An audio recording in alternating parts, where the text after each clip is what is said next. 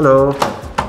Hola Mauro, pasa. Gracias. Bueno. Muchas gracias por aceptar esta invitación No, de, de feliz. ¿Podemos conversar? Pero ahí? por supuesto. ¿Te pillamos muy ocupado? Estoy haciendo cinco demandas. No, no, mentira. Estaba, estaba esperándote, para que lo voy a mentir. Estaba esperándote porque sabía que son muy puntuales. Así que no, Sí. feliz de recibirlo acá en, eh, en mi estudio jurídico eh, relajado. Ya, vamos. ¿Listo? Gracias.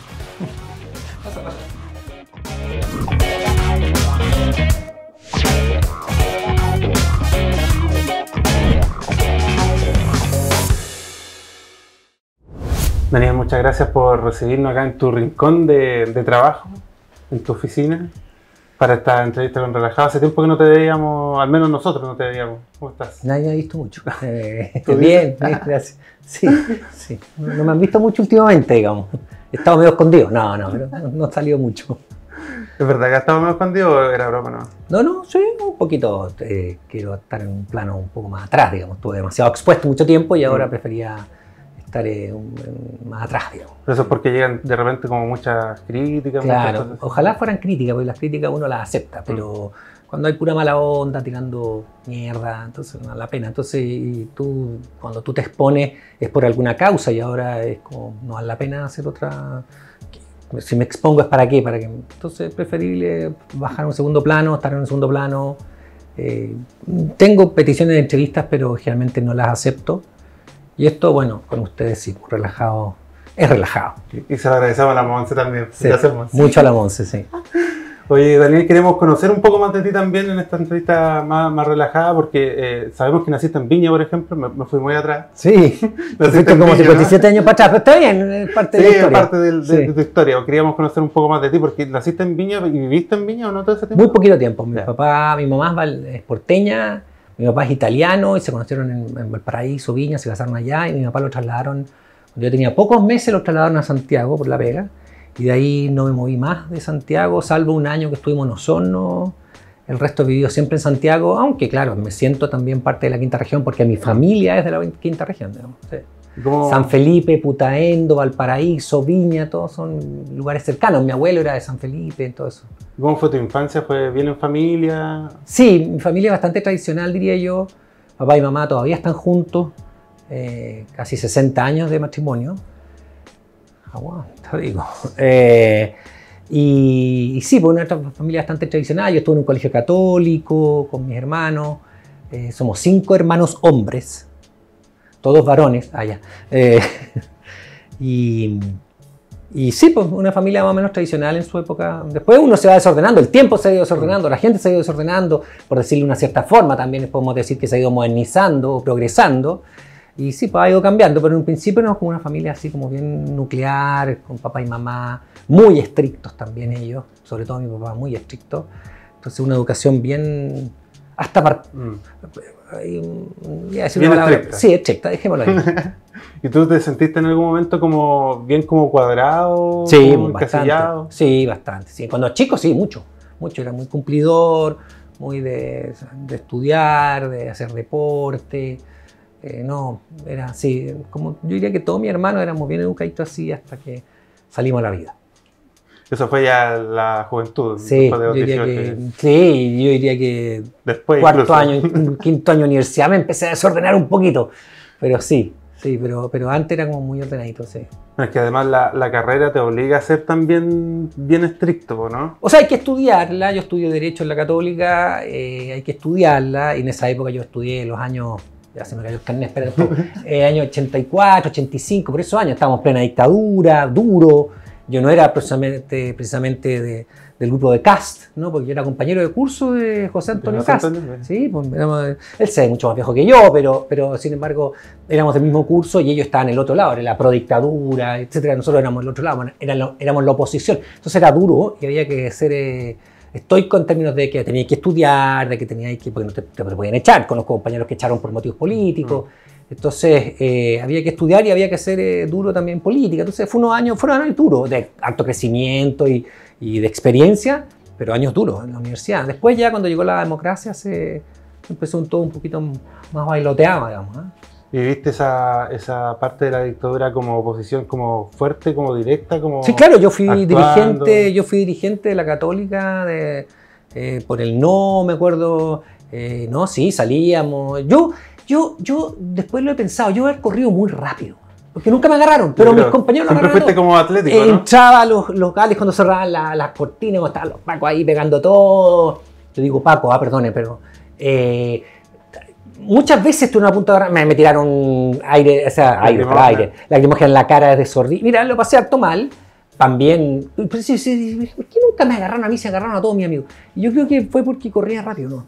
Eh, pero sea por, la- la- por, por- por- por los paseos ahí. ¡Uh! Mucha experiencia que contar en la época de la dictadura, haciendo oposición Mm. a la dictadura y buscando la democracia, por respeto a los derechos humanos y eso. ¿Alguna que te haya marcado en específico? Sí, hay una que estábamos pasando frente a la Casa Central de la Católica. Yo estudiaba en el Campo Oriente en esa época. De nuevo son carnet. Eh, y estábamos. Casi íbamos cami- 50 años ya también, po, de, Sí, po, de esos 50, momentos. sí, po. Y, eh, y yo iba caminando frente a la Católica. En ese tiempo íbamos como, como hartos compañeros y un zorrillo nos, nos pone así y me tira el chorro en la cara. Y entonces ahí eh, no, no vi nada. Entré a la Católica en ese momento a la Casa Central. Y, y después llegó mi polola, que en ese momento no era mi polola, pero después lo fue, después me casé con ella, y me decía que tenía la cara deformada, así como, ay, como, así como el hombre elefante, Sí, así. roja y con... Como el hombre elefante. Y yo me, me apoyé en una, en una columna y de ahí no me moví un par de horas. O sea, si te tiran el chorro en la cara que hay botado. Esa vez fue, fue dura también y otras más también, con compañeros presos. y Hubo harta cosa, digamos, imagínate, no sé, 6, 7 años eh, del 80 y... Bueno, yo estaba desde el colegio, ya venía haciendo oposición, pero toda la- hasta, hasta, el, eh, hasta la vuelta a la democracia, todos los días uno se levantaba pensando cómo echar a Pinochet y se acostaba en la noche Mm. pensando cómo echar a Pinochet, digamos. Y en respecto a tu familia, esa eh, descendencia italiana, ¿cómo, cómo está? ¿Cómo se nota, dices tú? ¿Cómo se nota? Bueno, se nota todos los días, hombre. Eh, hay, una, hay una actitud en la casa y de los hermanos y todo, que claro, somos buenos para gritar, pero no estamos peleados, eh, somos buenos para gesticular, somos expresivos, la mayoría de los hermanos y mi papá, claro, se, nota la sangre italiana. En, ¿Y la comida también latina, no? Sí, también mucho, mucha pasta, somos apasionados, eh, nos gusta la buena comida, la, eh, no sé, la antipasta, la, la pasta, ¿no? también nos gusta, sí, la pizza, una buena pizza, ¿no? Esas que... No sé. Sí. No de la cadena de... No, no, por favor. Aunque a mi hijo les gustan unas de esas canónicas, pero ¿cómo yo quería estoy criando cabros que les gustan unas pizzas de, de cadena? Mi señora hace una muy rica pizza también, masa delgada. Tú le pegáis a la cocina, ¿no? Ay, hay una pregunta que si la da mi señora no le va a gustar mucho y mi hijo tampoco. Yo sé cocinar cosas dulces. Estarían diciendo que no, quizás. Estarían diciendo que no porque me dicen, tú dices que cocinas cosas dulces, tú dices que cocinas postres, tú dices que cocinas tortas. Y, y- y- pero no me han visto. Y es verdad, mi mamá hacía tortas casi todos los días porque Mm. vendía, ¿no? Pasteles. Entonces yo me quedé con el ADN metido acá de que puedo hacerlo. Y de hecho, alguna vez he hecho una torta merengue y la hago completa. Todo el merengón, todo. Torta de mil hojas, las sé hacer. De hecho, no las hago, pero las sé hacer porque todos los días, todos los días, pues, estaba todo el- mi mamá, oye, hagan Y estaba esto. ahí al lado. No, y no solamente ahí, te, te dan instrucciones, muele esto, échale esto, como que tú ayudas a tu mamá diariamente. Entonces, claro, me dicen, tú dices que, pero nunca te hemos visto hacerlo. Un par de veces he hecho postre y una torta y han visto que sí, pero, pero como que reniegan, dicen, oye, pero papá, o sea, pura boca nomás, pues, cocínalo, digamos. Y claro, no lo hago. Sorprende, po, sorprende. Sorprende, pero no lo he hecho. Le he prometido a mi hija su torta para cumpleaños, mira, medio de boca, tengo que reconocer que no he sido muy cultivado Sí. Hay que trabajar ese, ese aspecto ahí entonces. Sí, sobre todo las cosas que yo sé, que son más bien las cosas dulces. Ya. Pero algo, algo hay. Sí, lo que pasa es que además al día de hoy yo soy diabético. Mm. Entonces, eh, hacer cosas dulces para que otros coman. Como aliciente, po, aliciente, po, weón. Entonces, pero debería hacerlo, sí. Ya, perfecto. Quería irme a, a tu etapa televisiva porque te conocimos en, en televisión en el 2005, ¿no? Sí, En Buenos Días a Todos. Sí. Ahí entraste a Buenos Días a Todos, eh, pero era como una labor eh, menos opinante a la, a la que tiene ahora, a la que tuviste en tu último año que te vimos en televisión. pues, ¿no? sí, entré a Buenos Días a todo el año 2005, como tú bien dices, a hablar de temas jurídicos, desarrollar, no sé, eh, el, el arriendo, y hablarle a la señora, el caballero está en su casa sobre el arriendo, y cuáles son las cosas que tiene que hacer, sobre, no sé, sobre alimentos, entonces en derecho a familia, y explicaba cosas, ahí estaba con Felipe Camiroaga, Ratón Tomisic, Jorge Eri en esa época, eh, y explicaba ese tipo de cosas. Y, y fui haciendo un derrotero primero en Televisión Nacional, después eh, me llamaron de, un- de una, de La Marraqueta, que era una, una productora de Don Francisco, hice un tribunal oral, que Eso. Eh, conductor, eso fue en Canal 13, después me quedé en Canal 13 en los matinales, después volví al 7 cuando el 13 lo compró Luxich. Eh, qué mala idea. Pero bueno, eh, volví al 7, me, llamaron de nuevo, ahí estuve un tiempo hasta que murió Felipe, ahí tuve algunos problemas con la dirección y me fui a Mega, y estuve cuatro años en Mega. Después también me pusieron una PLR y me fui a la red, después Chilevisión, después volví a TVN por tercera vez y después ya tuve unos problemas ahí con... Un recorrido muy amplio por Sí, los canales. son ¿Cómo, más de 15, cómo sí. evalúas tu, tu experiencia en, en televisión en sí? Siempre he sido matinales en general, salvo, sabes que tuve el programa yo propio que se llamaba Tribunal Oral. Eh, Era un programa un poco extraño igual, tenía como momentos medio freak, ¿no? Sí. Lo, lo que pasa es que era un poco lo mismo que la, la jueza, Que la jueza, mm. o, que, y- o que Veredicto, ¿no? ¿Te acuerdas? Pero esto tenía abogados y a veces había alguna cosa poco seria, digamos, que era tanta la cosa la drama, que lo- los dos partes y todo, que a veces poníamos algunas cositas poco, un poquito freak, muy divertidas, sí. Sí, no me hagas recordar. Sí, el otro día me apareció uno en, en Instagram de Sí, siempre las ponen y sí. Hay algunas divertidas con, no sé, hay de todo. eh. Hay algunas, bueno. Pero esa experiencia, ¿cómo fue para ti? No, muy Porque entretenida, muy entretenida. Además, Fue como un paso también como a otro tipo de, a otra labor, como una conducción también. Sí, bueno, en Tribunal Oral, claro, era el conductor. eh, y, y fue entretenido, fue diferente, te iba afianzando en la labor de, de comunicativa. eh, me gustaban las comunicaciones, por eso entré algunos días a todo. Y me quedé hasta hace, no sé, pues, al día de hoy sigo un poquito acá en La Voz de los que Sobran, pero, pero también estuve en, en- en matinales, después estuve en el programa de la tarde, siempre en esta cosa como de enseñando un poco, transmitiendo la cosa jurídica que es tan árida, ¿no? Sí. Y entonces uno la transmite. el- La característica que me han dicho que yo tengo es que las cosas más difíciles las, las sé poner en fácil.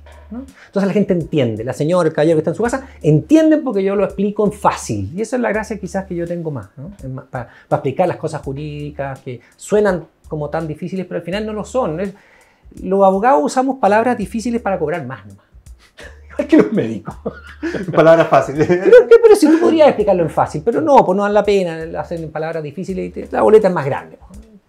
Esa labor de, de enseñanza, igual, la- no sé si la fuiste perdiendo, pero la fuiste quizás combinando un poco más con tu labor de opinante. Sí, al final sí, en Buenos Días, eh, en, Mucho Gusto, yo al final era un, eh, era un panelista, panelista. multi... eh, eh, o sea, estaba, yo, no sé, alimenté rinocerontes, me tiré en paracaídas, eh, hice mil cosas, desfilé en la parada, en avión, hice muchas cosas que hacíamos todos los panelistas, cociné mil veces, eh, y claro, a veces había cuestiones jurídicas. Y después en TVN al final, claro, era mucho más opinante, mucho más político, vino el, eh, el estallido social, y entonces ahí, claro, me, me puse mucho más opinante, todos nos pusimos más opinantes, y eso también al, al final redundó en que me echaron de TVN, bajó el director y me dijo, ahí suspendido y te va y están llamando de la moneda, están llamando a los senadores. Eso fue después de un cruce con Marcela Sabato, ¿no? Sí, ese fue el último, pero tuve cruces con el ministro de- de- de- del Trabajo que osó decir que los trabajadores y los empleadores estaban en el mismo nivel, cuando todo el mundo sabe que un trabajador está aquí y un empleador está acá, entonces los sindicatos son un poco, poco te ponen un poquito más de, de igualdad.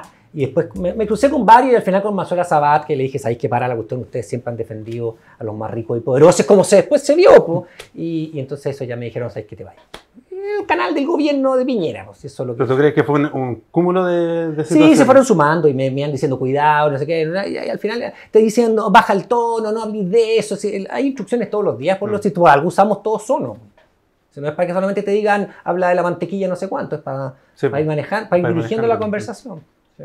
Y en, te- en Mega igual fue un, un poco distinto porque saliste en un, en un momento en que estaba en pleno estallido social, ¿o ¿no? No, no, eso fue en TV. Eso fue en TV. En Mega, eh, la verdad es que ahí yo hice de todo, éramos como 15, ¿no? Era un ejército, Sí. podíamos hacer un equipo de fútbol y con reserva.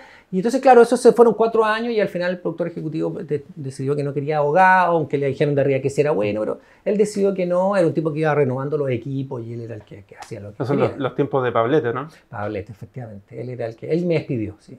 ¿Cómo te llevabas tú con él? No muy bien. No muy bien porque, en mi opinión, él es un tipo muy barrero, tiene todo el derecho a hacerlo, él es un muy buen director, o sea, productor ejecutivo, pero tiene una- las formas de Pablete son las que no me gustaban, más que el fondo. El fondo yo creo que tenía, ah, sabía mucho de televisión, sabe mucho de televisión, pero las formas de él tiene que depurarla un poquito porque eh, tiene harta queja, ¿ah? si tú empiezas Sí. a mirar por ahí, Pablete tiene su- sus yayitas en las formas más que en el fondo. ¿Tú viviste o presenciaste alguna de estas, las mismas quejas que ha hecho Salotni Ivette Vergara, ¿tú fuiste testigo de alguna vez? Claro, porque yo viví esa época. La- hubo varios que se quejaron ahí de, de- de las formas de él, eh, eh, que, que- que tenía, era poco fino. Vamos a decir una forma elegante, era poco fino para tratar. Y, y- y- y con varios, digamos, no, no, no, no, no, no, no pocos. ¿Es como el tono en que dice las cosas? el tono, la autosuficiencia.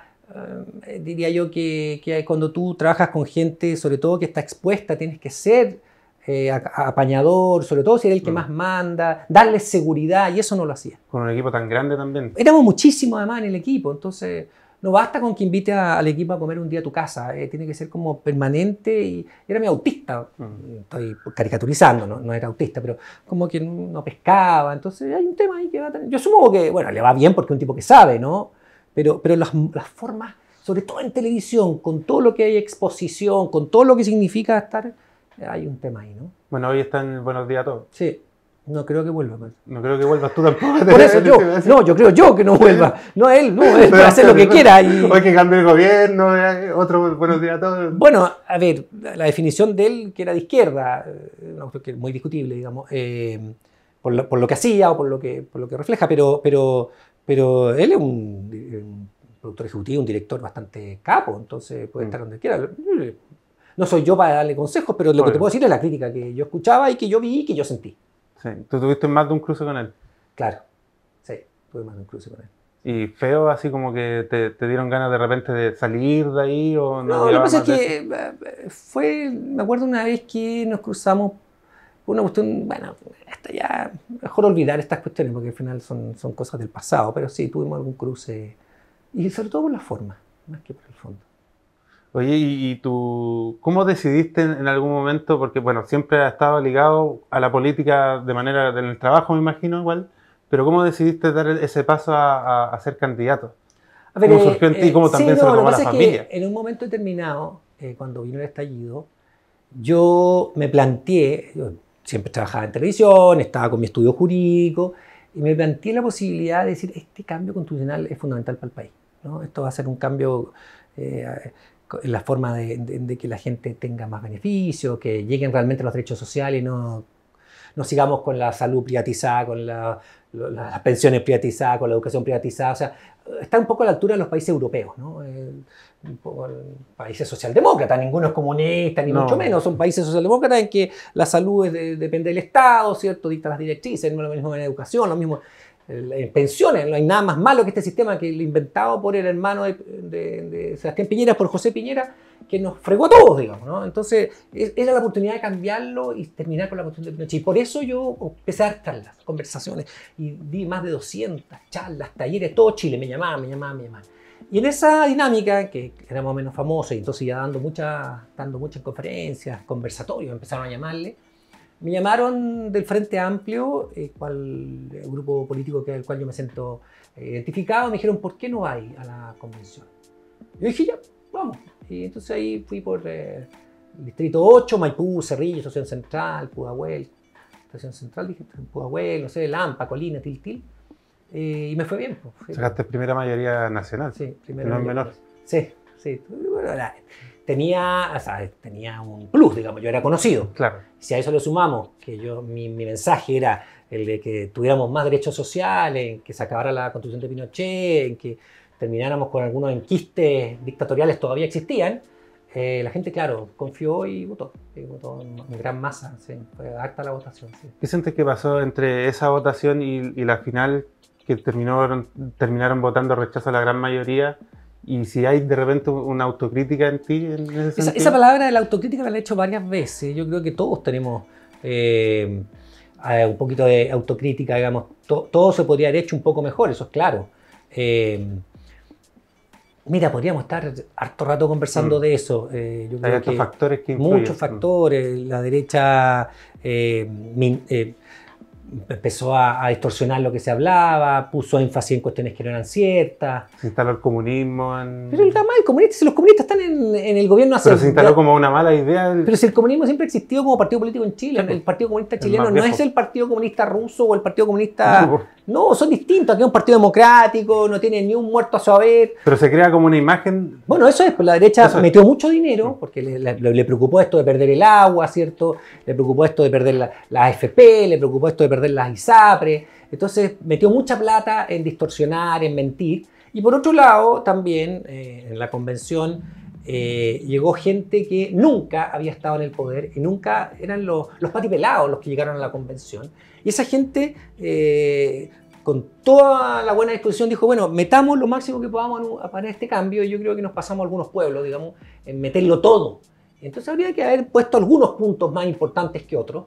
Eh, pero quisimos meterlo todo, mira, la cuestión mental, la cuestión feminista, la cuestión del pueblo originario, la cuestión de las disidencias sexuales, todo, todo, todo, todo, todo, todo. Y está bien, pero había que hacerlo para un poco más pausado. Y entonces, claro, eso asustó a la gente que en Chile un poquito conservadora. Porque Chile no estaba preparado de Creo que puede ser por ahí. Y, eso sumado a esta eh, mentira sistemática de la derecha, eh, bueno, provocó lo que pasó. Yo creo que ahí teníamos haber actuado y haber puesto algunos puntos más importantes para hacer los cambios y no todo meterlo ahí. Y eso, y claro, yo lo explico porque había grupos, no sé, la lista del pueblo o los grupos de distintos grupos sociales, representativos de, muchos sectores, pero que nunca habían estado mm.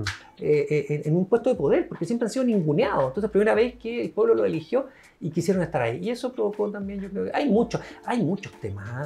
Acuérdate incluso que esto de que, o sea, ciertas frases que se usan que yo dije, eh, vino aquí a esta oficina un caballero a pedirme perdón. Me dijo, mira, a mí me contrataron de una agencia para eh, todo lo que tú dijeras distorsionarlo y hacerlo videos. Y está por ahí la grabación. me dijo, te vengo a pedir perdón porque yo, yo no lo conocía. Me dijo, a mí me contrató una agencia. Una persona X. un tipo que me decía, yo me, me daba la instrucción un periodista y yo producía un video y me decían, lo que diga, ponlo, lo que diga. Pero es que no, lo, me da lo mismo, ponlo nomás. Eh, aquí hay que fregarlo.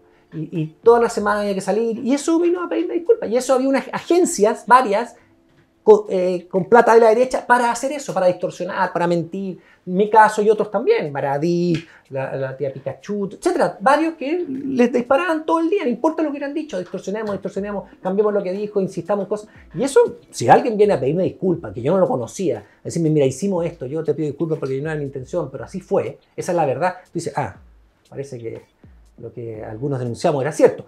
Amén de los errores que nosotros también cometimos. ¿Qué te parecen como ciertas críticas o más que críticas son como descargos públicos contra ti, como de Pati Maldonado, Gonzalo Feito? Bueno, pero Mira, yo te voy a decir algo bien personal. Uno eh, en la vida em, le das valor, le das eh, como consideración a ciertas personas, ¿cierto? Entonces, eh, y en el momento van cambiando, pues algunos, tú dices, uy, mira, esto dijo algo interesante, si después te critica y dices, mm, sí, puede ser que tenga razón, ¿no? Porque, y tú lo consideras y lo piensas. Pero hay otros que no. No te pasa con él. No. Entonces, no, no. O sea, el programa es feito, o sea, por favor. y, y Pati Maldonado, no, con Pati Maldonado hay otro tipo de relación. Yo trabajé cuatro años con ella. Por lo tanto, yo le tengo cariño fascista de ultranza, siempre lo ha sido, lo reconoce, da lo mismo. Eh, eh, la patria abandonada, da lo mismo lo que ella diga, es un poquito... No le doy el valor político, yo creo que nadie le da el valor político, pero me cae bien, porque yo estuve en su casa, porque se preocupaba de mí, me llevaba alimentos eh, para diabéticos, ¿me entendí? Entonces hay un cariño. de hecho, ella lo ha dicho, como que de hecho, ella ha dicho que tiene cariño también. Pero si yo le tengo cariño, pero si ella me tuvo en su casa. Pero en un momento dijo como que te, encontró que desfachetaste, como que te volviste bueno, loco. Da lo mismo, sí, sí, yo siempre he pensado lo mismo. Yo pienso lo mismo desde la universidad, sigo pensando lo mismo, los que cambiaron fueron otros. O sea, si tú te fijas, y vamos a salir un poquito del tema que estás preguntando, en, en, el proyecto político, en el programa de Eduardo Frei Montalva, el año 64, el programa político de Salvador Allende o de Radomiro Tomic, el año 70, son mucho más a la izquierda que el programa de, de, mm. Boric. Mucho más a la izquierda. O sea, estamos hablando de que eh, eh, eh, Chile era, era, tenía, no sé, muchas cuestiones que hoy día, como está todo muy derechizado, ah, es comunista, es, de izquierda. Mentira. en el, 70, en el 64, el gran gobierno que hubo Eduardo Frei Montalva era mucho más de izquierda que esto. Y eso que era muy cristiano. Lo que pasa es que aquí cambiaron ellos. Anda a ver tú la Jimena Rincón, pues, o sea, defendiendo la AFP, directora de AFP, la, familia Walker, todos con derechos de agua. O sea, de- eh, estamos hablando de que la doctrina social de la iglesia, que era la que fundamentaba la democracia cristiana, se la pasaron por ahí mismo. Yo fui demócrata cristiano, yo fui militante demócrata cristiano, pero de esa democracia cristiana, del- de, de- la, de la revolución en libertad, ¿no? De, no sé, la reforma agraria, eh, de, de ese tipo de cosas, ¿no? No de actual, que son de derecha y defienden el, eh, el sistema neoliberal, digamos. Entonces, eh, frente a eso, uno se, se- se va por esa línea. Yo siempre he pensado lo mismo, no, no, no dejaba de pensar lo mismo. Lo que pasa es que otros cambiaron. Entonces, cuando tú me decís que la tía, la Patricia Maldonado, que dice que yo cambié, yo no, yo no he cambiado. Yo la quiero, me cae bien, y todo, y, y no le doy valor a lo político. Y Feito, no, pero hablemos de gente seria. ¿Feito se picó porque no quisiste ir al programa o Sí. nunca te invitaron? Sí, no me invitaron, pero no era esa cuestión. Pero por favor, si eso no tiene ni pie ni cabeza. Una, para reírse. Oye, y hoy, hoy estás, eh, además de la abogacía, estás con la voz de, lo que, de los que sobran y estás haciendo algo más por ahí. En la los que sobran estoy un poquito más atrás, voy solamente un día a la semana, porque quise no estar, en, principio. sí, no, no estar en primera línea todo el tiempo, porque al final cansa, yo tengo que, estoy dedicado al ejercicio profesional. Así que si alguien quiere, abogado en materia laboral, en materia de familia, en materia de herencia, en materia de arriendo, aquí estamos, esperándolo para prestarle servicios legales. Estoy en eso, eh, bueno, mucho más dedicado a mi familia, porque los dejé votados casi tres años con toda la cuestión del... Y, En algún momento te dijeron como, ¿qué estás haciendo? al- Como, ¿por qué no, me apoyaron, no, me apoyaron, si no, no lo habría hecho. Ya. Yo lo conversé con mi familia, me apoyaron. No, no, no, no, no me habría metido un día si es que no cuento con el, el, eh, el conven- el consentimiento de toda mi familia, mis hijos, mi señora. Eh, y ahora también estoy dedicado a jugar ajedrez en línea, cuando descanso mientras hago escrito y Te cosas. interrumpimos, de hecho. De hecho, estaba jugando una partida muy... Acabas de perder. Claro, con Spassky, más encima con nada. Eh, claro, estaba con, con Larsen, ahí, el, el- el campeón mundial, me estaba ganando poquito. No, estoy eh, también eh, tratando de descansar un poco, de retomar mis cosas, amistades, todo ese tipo de cosas. sí. ¿Y la carrera política sigue? No, está congelada, si tú te fijas, no, no, no salgo ni. Pero salgo- congelada o finiquitada. O sea, yo creo que en este momento está finiquitada, sí. Carteles de invierno, ya yo me la jugué por, el, por lo que fue eh, el, el proceso constituyente, pero más allá no me interesa. digamos. Después voy a salir y decir, ¡va, diputado! No, ahora hoy día no, no. O sea, no. Quiero eh, darle mucha relevancia a mi ejercicio profesional como abogado y, y estar en la voz los días que me toque, eh, pero estoy en general eh, dedicado a lo mío, a mi familia, etc. Me imagino que la televisión no la extrañan mucho porque en la voz de los que sobran también tiene esa libertad que Claro. un poco que no tenían en televisión. es- ese es un punto fundamental, Mauro, porque eh, cuando estás en televisión, te están diciendo cosas. Yo siempre usé fono, ¿no? audífono.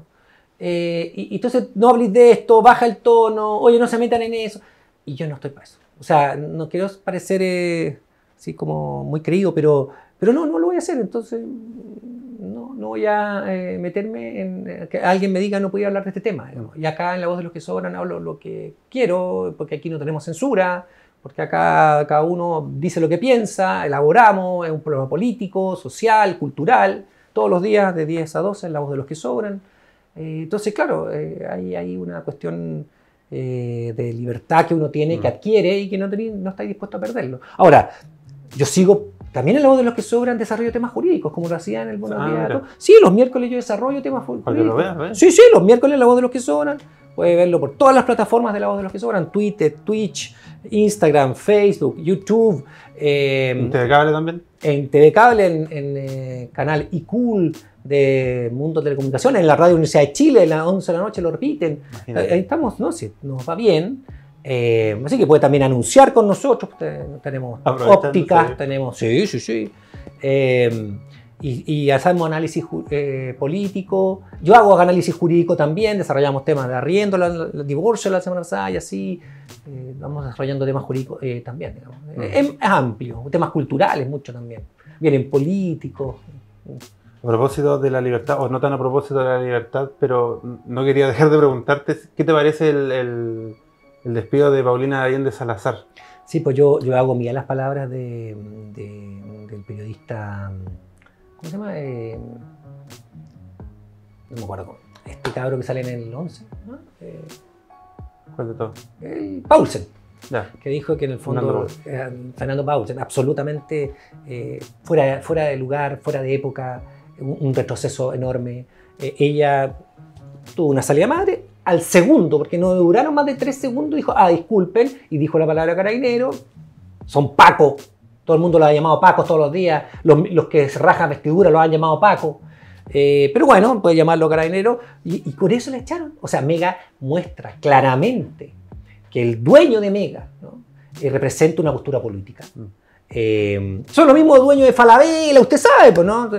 Los, Solari, ¿no? Heller Solari son los dueños de Falabella, del Club Hípico, era dueño de la U, gracias a Dios ya no.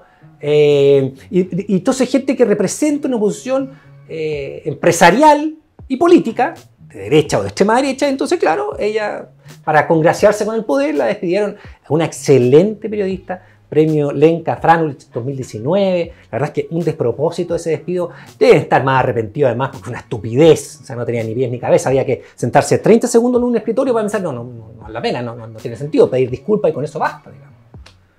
Además que el general que, que ya había tenido problemas, el general que la quiso eh, ningunear y vetar, ya había perdido un recurso de protección, tú lo sabes, ¿no? O sea, la Corte Suprema le había dicho, usted no puede decir quién está en una conferencia de prensa o no, ya lo había perdido, con un atentado claro contra el, el derecho a las comunicaciones. Entonces, eh, ese tipo de carabinero no debería entrar en la institución, digamos. Paulina podría alegar al- o Sí, demandar a... creo que se presentó un recurso de protección y lo van a ganar porque es una copia de otro que ya se hizo contra ese mismo general. Por lo tanto, eh, vetó a, a la- a una periodista de una conferencia eh, de prensa, un punto de prensa, eh, y eso atenta contra el derecho a la comunicación, al derecho a la, a- a- a la información, derecho a la verdad. Pero eso no es contra Mega, ¿sí?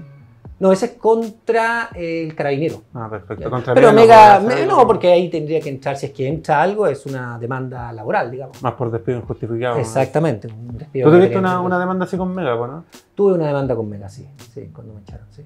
¿Y qué pasó ahí? Porque en un principio como que habías ganado, pero después No, no, perdí primero en primera ya. instancia, gané en la Corte de Apelaciones y la Corte Suprema en un fallo bastante extraño eh, perdí, 3-2. Dos abogados integrantes que son representantes de empresas, porque al final los abogados integrantes no son gente que...